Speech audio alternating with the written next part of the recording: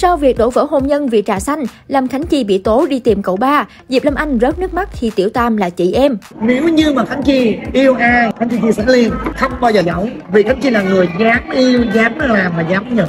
Lâm Khánh Chi, Phi Hùng Showbiz Việt từng một phen xôn xao trước thông tin Lâm Khánh Chi và ông xã kém tuổi tuyên bố ly hôn. Sau một thời gian ngắn, khán giả thấy Phi Hùng công khai người tình mới. Điều này đã khiến anh phải đối mặt với rất nhiều lời đàm tiếu. Thậm chí một số người còn cho rằng chàng trai gốc Nam Định đào mỏ vợ cũ, xong quay lưng bỏ đi với tình nhân. Trước áp lực dư luận, chồng cũ Lâm Khánh Chi đã lên tiếng đính chính về những ồn ào tình cảm. Phi Hùng nói rõ nguyên nhân đổ vỡ là vì vợ cũ ăn vụng với Phi Công. Điều này bị anh phát hiện khi kiểm tra tin nhắn của cô nàng. Chẳng những vậy, chàng doanh nhân còn tiết lộ nhân vật bé ba kia chính là Song Duy, một diễn viên trẻ và cũng là một trợ lý của người đẹp chuyển giới. Theo tìm hiểu của Phi Hùng, cả hai đã quen nhau gần cả năm. Hơn nữa, chồng cũ của Khánh Chi đã vốn không định vạch trần chuyện này, nhưng vì áp lực dư luận quá lớn nên anh chàng đã quyết định nói ra hết một lần để khán giả có thể hiểu rõ được câu chuyện. Diệp Lâm anh, Nghiêm Đức, Diệp Lâm Anh từng là một mỹ nhân khiến nhiều chị em phụ nữ phải ganh tị vì vừa có sự nghiệp kinh doanh thành công, lại vừa có một tổ ấm viên mãn bên ông xã thiếu gia và hai nhóc thị xinh xắn. Tuy nhiên, khoảnh khắc chồng, người đẹp bước ra từ nhà của một người phụ nữ khác đã gây xôn xao dư luận về sự tan vỡ trong hôn nhân của cặp đôi này. Cộng đồng mạng nhanh chóng tìm ra thông tin của nàng bé ba kia và càng bất ngờ hơn khi đó chính là diễn viên Quỳnh Thư, người từng có quan hệ chị chị em em khá tốt với Diệp Lâm Anh. Được biết, sau một thời gian cố gắng hàn gắn mối quan hệ này, cuối cùng cô nàng cũng tuyên bố ly thân, đồng thời khẳng định cuộc hôn nhân này này đã đi vào ngõ cụt.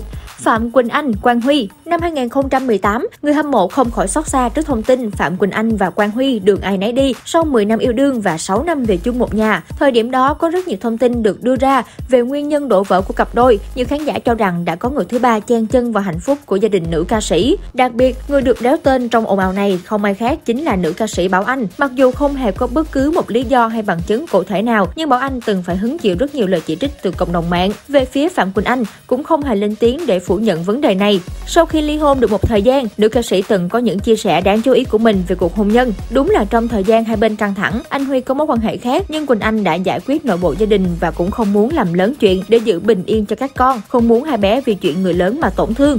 Đặng Thu Thảo Cuối năm 2021, Hoa hậu Đại Dương Đặng Thu Thảo bất ngờ chia sẻ những góc khuất hôn nhân của cô và chồng đại gia, khiến cộng đồng mạng được một phen dậy sóng. Theo đó, người đẹp chia sẻ bản thân đã phải đối mặt với tình trạng chồng có người thứ ba ngay trong thời gian bầu bì và sinh nở, thậm chí nhân vật kia còn lên tiếng thách thức cả chính thức. Việc bị đối xử tệ bạc cộng với việc bạo hành như giọt nước tràn ly đã khiến cô nàng quyết định kết thúc cuộc hôn nhân đẫm nước mắt của mình. Sau ly hôn, Đặng Thu Thảo từng vực dậy đầy mạnh mẽ và nhờ vào sự giúp đỡ của bạn bè đồng nghiệp, người đẹp đã tìm được một công việc để kiếm thêm thu nhập nuôi con cũng như bắt đầu lại một cuộc sống mới. Hậu ly hôn, Đặng Thu Thảo nhanh chóng tạo được cơ ngơi mới để đón hai con về chung sống. Đồng thời, nàng hậu cũng thường xuyên tham gia nhiều hoạt động trong showbiz. Đặc biệt, từ một cô gái ra đi tay trắng sau đổ vỡ hôn nhân, người đẹp đã hồi sinh mạnh mẽ khiến nhiều người ngưỡng mộ. Những cặp đôi Vbiz từng khiến công chúng ganh tị vì cuộc hôn nhân viên mãn, thề non hẹn biển đi đến cuối cuộc đời nhưng sau cùng lại buông tay nhau mà đa phần nguyên nhân đều đến từ người thứ ba. Sau những thăng trầm, người hâm mộ vẫn luôn hy vọng rằng họ sẽ có được một cuộc sống hạnh phúc để hướng tới những điều tốt đẹp hơn trong tương lai.